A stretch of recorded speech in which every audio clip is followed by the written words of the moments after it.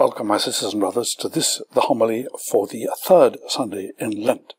And this Sunday, we begin readings from St. John's Gospel. The last three Sundays of Lent will be readings from St. John, dialogues between Jesus and different people, each of which uh, makes manifest who Jesus is for those who are able to perceive it. So today, the uh, woman by the well of Samaria, next Sunday, the man blind from birth, and the Sunday after, Mary and Martha and the raising of Lazarus.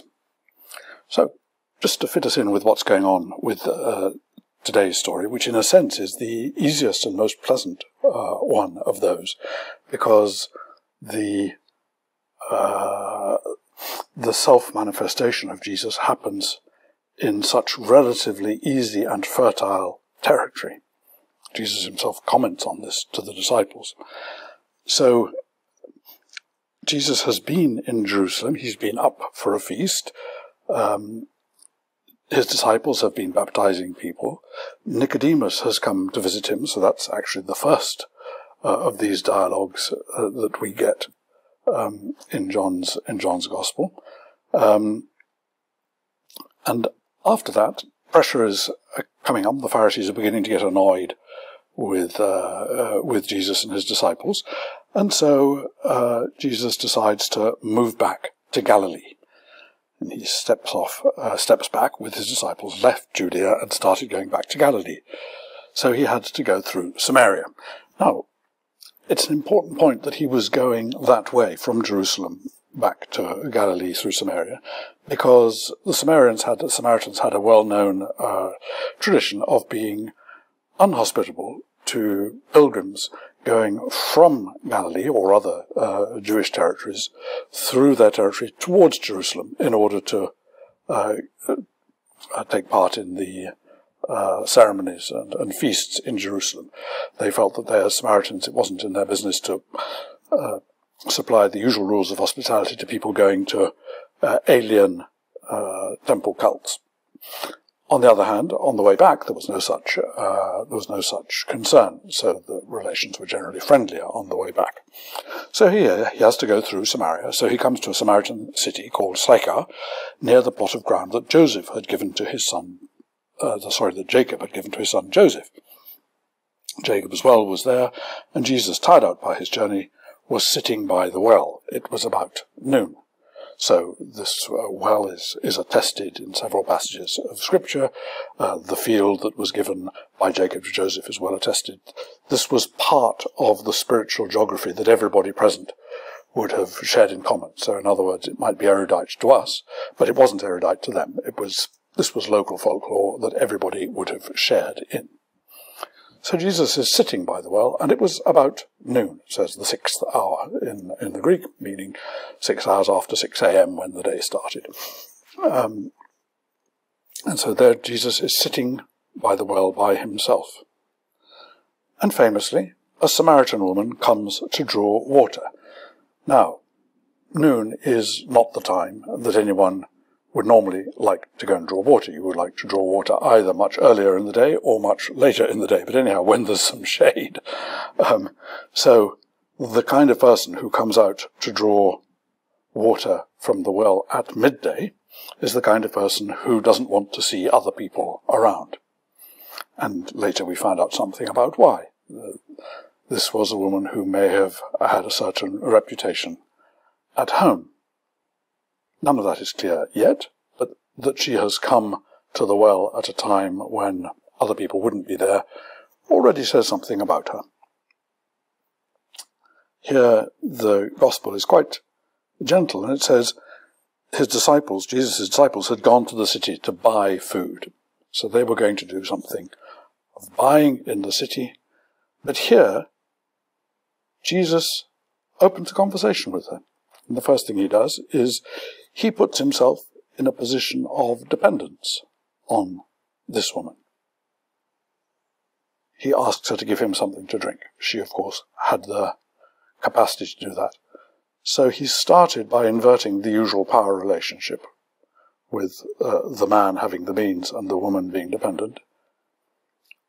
he has treated her as the person who can help him and says, Give me a drink. The disciples have gone to buy. He's asking to be given. All those parallels are supposed to be noticed.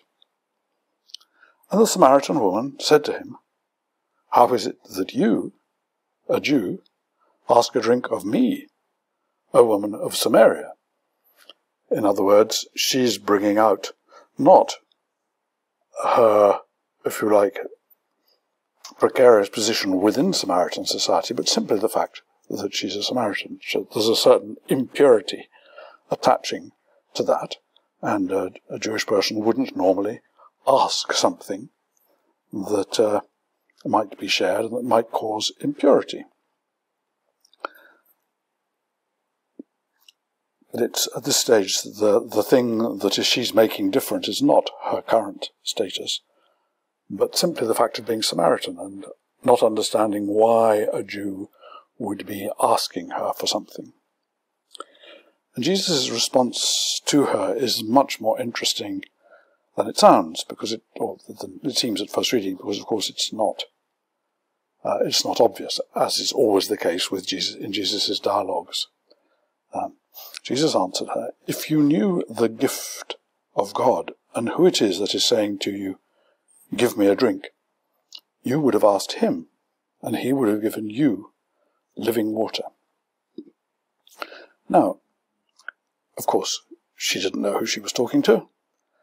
And so he's saying to her, instead of answering, Well, I'm a Jew and I just happen to need to drink, he's taking the whole matter back and said, If you knew the gift of God. Now, this word, gift, dorean, it's the only time this word appears in this gospel, in fact, in any of the gospels. The only other times this word appears in the New Testament, it's uh, in the Acts of the Apostles and in some of Paul's epistles. And there, it almost invariably means the gift of the Holy Spirit. In other words, it's, he's not talking about a passive gift at the same level as um, uh, a drink of water might be, or a slice of wedding cake for that matter, that you just give someone something. He's talking about the gift of God, which of course she could not possibly have known about. And the gift of God is the self-giving of us, that which turns us into people who are capable of giving ourselves away, which is how we receive who we really are. And it's that which is this making utterly alive of us, which is then brought out in the discussion about the well. But it's the notion that the gift of God is something which turns us into gifts. That's what the gift of God is about. Uh, and I think it's really quite important to uh, remember that. The um, one of the moments when the gift of God becomes, uh, if you like, uh, a matter of controversy is in the, the Acts of the Apostles precisely when uh, Simon tries to, uh, not Simon Peter, but, but Simon the magician, the Magi, tries to buy uh, the gift of uh, the gift of God, and it's understood that, that, really that is the ultimate way that you cannot have it. Um, the gift of God is that which by nature turns you into giving yourself away, which is the richest thing you could possibly have. Because as you give yourself away, you're on the inside of God's self-giving, which means that you're held by the Creator and turned into an endless source of generosity for others. And this is what Jesus is attempting to offer her. If you knew the gift of God, in other words, what it's like to be turned into this self-giving, and who it is who's asking you for this gift, precisely giving you the chance to getting involved in this self-giving of yourself away, you would have asked him, and he would have given you living water. In other words, I'm inducting you into a conversation which is going to end in you being able to give yourself away with living water. So, the woman says to him, Sir, you have no bucket, and the well is deep. Where do you get that living water? So, reasonably enough, she's staying at the practical level and uh, wants to know how this uh, uh, giving of water is going to happen. Are you greater than our ancestor Jacob, who gave us the well, and with his sons and his flocks drank from it? So, we're being set up for Jesus being more than Israel. Jacob Israel, the founder of all the peoples of all the tribes of Israel, including obviously Joseph, to whom Jacob had bequeathed this field. And Jesus says to her, Everyone who drinks of this water, the practical water, the one for which you need a bucket, will be thirsty again. But those who drink of the water that I shall give them will never be thirsty. In other words, once you get onto the inside of being able to give yourself away, because that's what the Spirit does, it turns you into givers of yourself away, you will never be thirsty. You will be held in being by the one who's turning you into this show of generosity. The water that I will give will become in them a springing of water gushing up to eternal life. In other words, I'll be turning them into fountains of this. And the woman then says reasonably, Sir, give me of this water so that I may never be thirsty or have to keep coming here to draw water. So she's partially understood it. give me of this water. She's asked for it so I may never be thirsty. But also, she's got uh, good practical considerations. I'll have to keep coming here to draw water. As you know, this is a boring, tedious uh, task, and uh, anyone who can save her that task is, you know, before the advent of bottled water, is uh, doing her a favour. So, now Jesus, it sounds as though he's not answering her favour, her, her question, um, give me the water. But in fact, this is how he answers her. I think it's very important to see that he is answering her positively here and he is giving her that water. He says to her, Go, call your husband and come back. And the woman answered him, I have no husband. So he's asking her to go and do something for him as a way of getting into uh, the uh, the outflow of goodness and generosity. And Jesus says to her, You are right in saying, I have no husband, for you have had five husbands, and the one you have now is not your husband. So,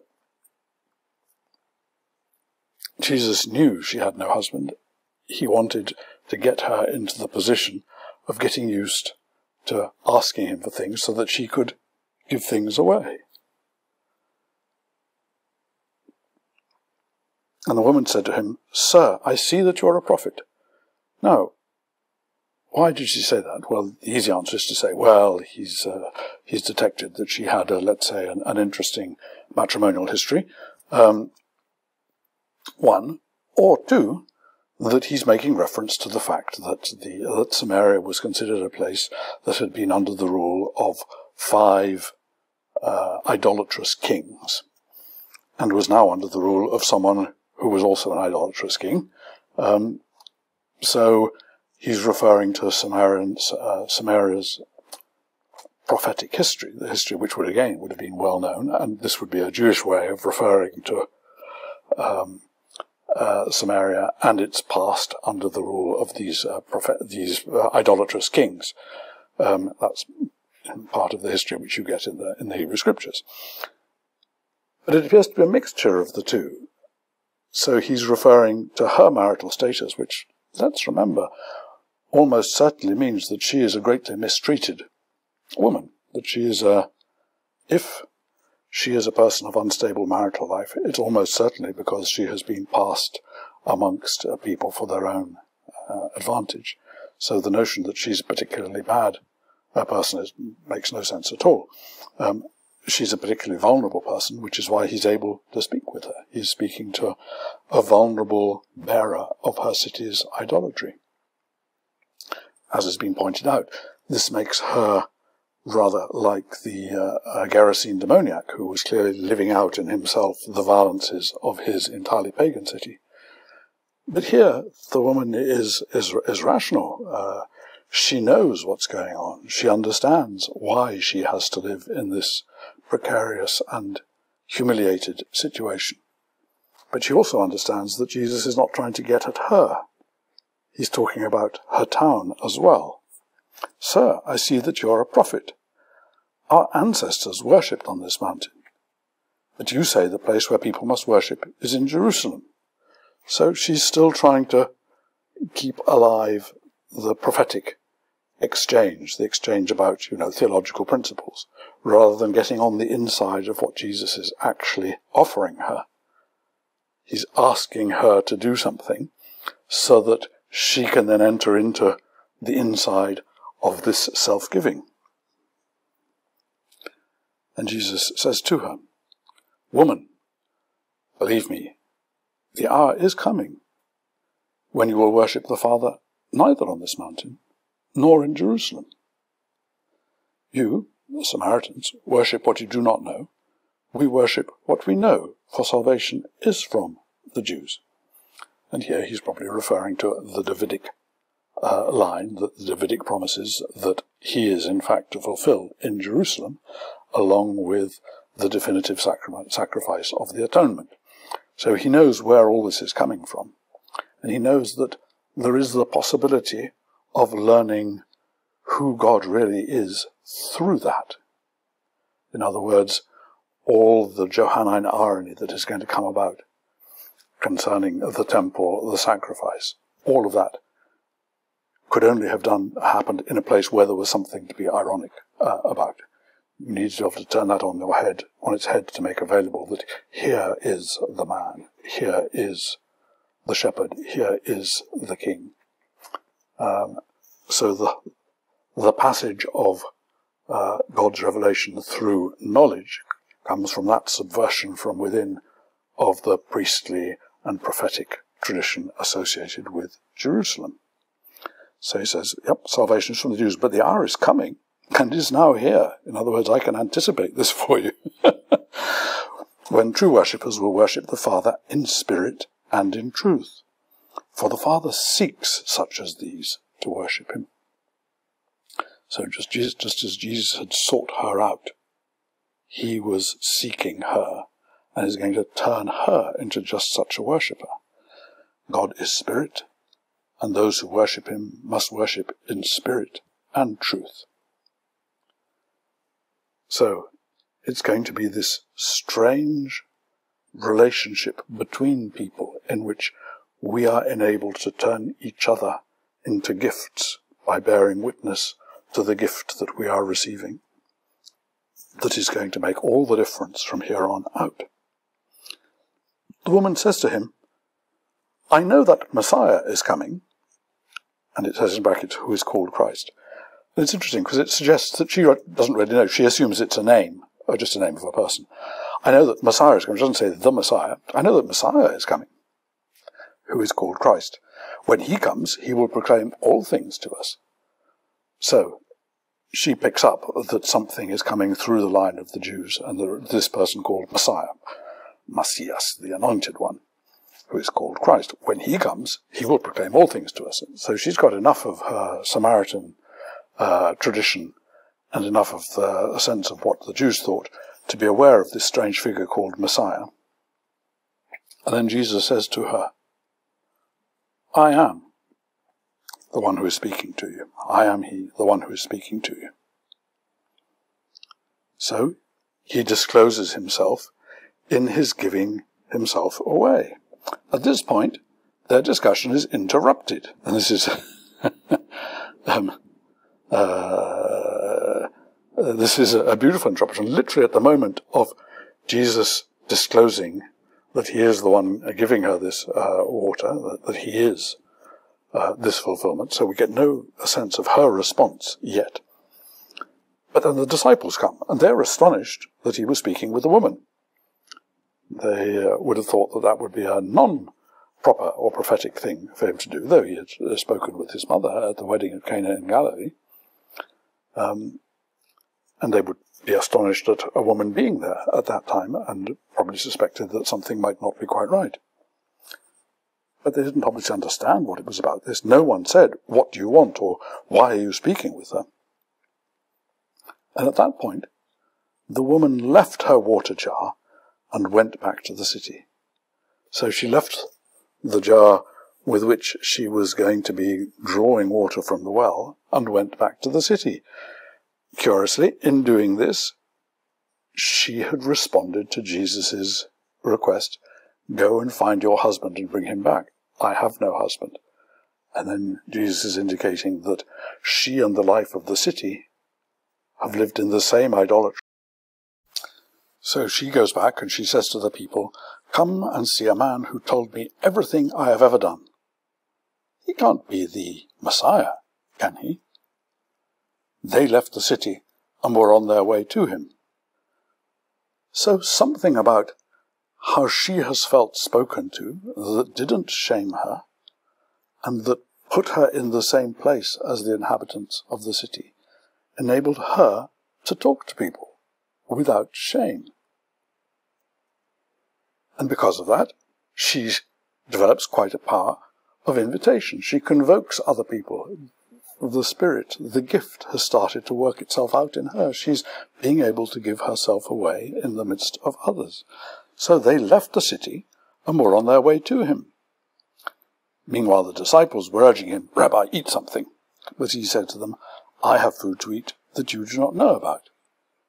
So he now tries to explain to them what he's trying to explain to her, that it's actually in doing things like this that he gets nourished. My food is to do the will of him who sent me and to complete his work. So he's attempting to get across to them that the gift which he's just given to that Samaritan woman is the gift that he's going to be trying to give to them. I tell you, look around you and see how the fields are ripe for harvesting. There are all sorts of people who are ready, even now, to be invited in. People who live in places less complicated than Jerusalem, less full of religious ups and downs and constrictions and restrictions and all of that stuff. And those are the people, they're ready for harvesting. Anyone who takes them out of their shame is bringing them to life. But I tell you, look around you and see how the fields are ripe for harvesting. The reaper is already receiving wages and is gathering fruit for eternal life, so that sower and reaper may rejoice together. So he's saying this is what's actually been going on with the Samaritan woman. She, the Samaritan woman, is already receiving the wages and is gathering fruit for eternal life, so that sower and reaper may rejoice together. She's a model for what's going to happen with you. For here the saying holds true one sows and another reaps. I sent you to reap for that which you did not labour. Others have laboured, and you have entered into their labour. So he's trying to give uh, to them that she's an example. Many Samaritans from the city believed in him because of the woman's testimony. She had been told the truth. She'd been able to live it. And she'd been able to share it. And then they came and listened to him. He told me everything I have ever done. So when the Samaritans came to him, they asked him to stay with them. And he stayed there two days. So not the three days, which would be in Jerusalem.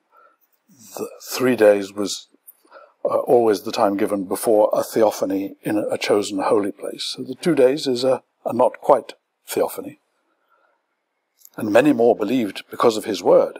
So as he spoke, they began to understand what he was saying. They said to the woman, It's no longer because of what you said that we believe, for we have heard for ourselves, and we know that this is truly the Saviour of the world. Her witness, she's been able to give herself away. She's not in control of it. She's been able to give herself away, and because of that, it's become a multiplied and a fruitful thing. The gift which Jesus is bearing witness to, enabling others to bear witness to, and which is able to spread especially amongst the humiliated, the apparent heretics, those who are not caught up in bizarre uh, discussions about laws and things like that.